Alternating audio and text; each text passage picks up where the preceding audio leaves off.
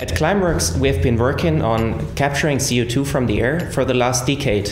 What began as research in the framework of a master thesis at ETH Zurich has now developed to a company with more than 50 people, providing solid solutions to capture CO2 from the air, which have proven to work on an industrial scale. We develop, build, and operate direct air capture plants. Our plants capture atmospheric CO2 with a filter, using mainly low temperature heat as an energy source.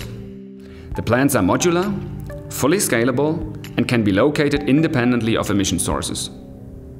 We have several plants already operating, with more in the pipeline. Last year, we twice made history. Let us explain how. In May 2017, we commissioned the world's first commercial direct air capture plant.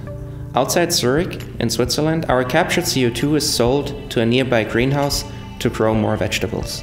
Last October, we commissioned the first ever carbon dioxide removal plant that combines direct air capture with safe and permanent underground storage of CO2.